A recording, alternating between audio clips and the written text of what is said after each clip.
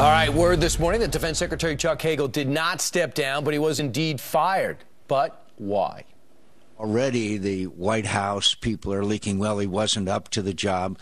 I, believe me, he was up to the job. It was a job that he was given where he really was never really brought into that real tight circle inside the White House that makes all the decisions, which has put us into the incredible debacle that we're in today throughout the world. Susan Rice, Valerie Jarrett read into that. So, what really happened? Let's ask Toby Harnden, the Washington bureau chief uh, for the Sun Times. He's been following this story. He's also the author of this brand new book called Dead Men, uh, Dead Men Rising, which is fantastic. Uh, Toby, first off, what's the insider account of why Hagel's not there anymore? all the indications I'm getting from people at the Pentagon are that he was forced out, uh, that the White House was unhappy with him. They didn't think he was sort of articulating White House strategy such as it is, particularly in Syria and Iraq. And uh, they, they didn't think he was up to the job. And that's, that's the sort of briefing, back, you know, the behind-the-scenes briefing we're getting now that, you know, he was, he was too passive, he, he, wasn't the right person. So you're equally tapped in with the U.S. You've been here 12 years as well as Britain. But sure. what's the message when you have three defense secretaries in that short a period of time?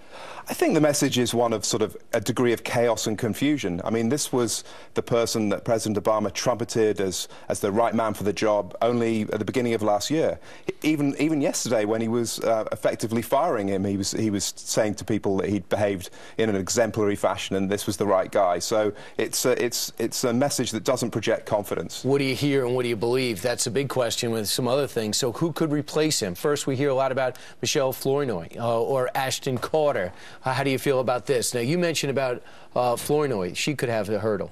Yeah, Michelle Flournoy seems to be the front runner. She would be the, the first woman Pentagon secretary, and President Obama, you know, made a big sort of thing about um, about Hagel being the first uh, enlisted man. So there's a sort of a there's a kind of a I don't know, tokenism or symbolism in these appointments. But Michelle Flournoy is on record in an ad, no less, of severely criticizing um, Mitt Romney for um, advocating that troops should have remained in, in Iraq. And she laughed at him. She mocked him for right. saying troops should. It's a tragedy that troops right. are leaving Iraq, and we all know that uh, Romney's been 100 percent correct. Colin Powell, what would that do for? Well, Colin Powell is a sort of wild card. I think he craves redemption. He backed. He, you know, he's nominally a Republican, but he backed President Obama in 2008 and, and 2012, and I think he'd like to be in the cabinet. And I tell you, this book is great too because if you want to find out who the people do, what they do when they fight the wars, you got great uh, heroism. It's not just about America. It's about this Welsh band that put up and fought off the Taliban uh, while the Marines were wrapping up. Uh, Dead Man Rising, what's it about? Uh, Toby, congratulations. Thanks a lot, Brian. Thank All you. right, thanks for the insight.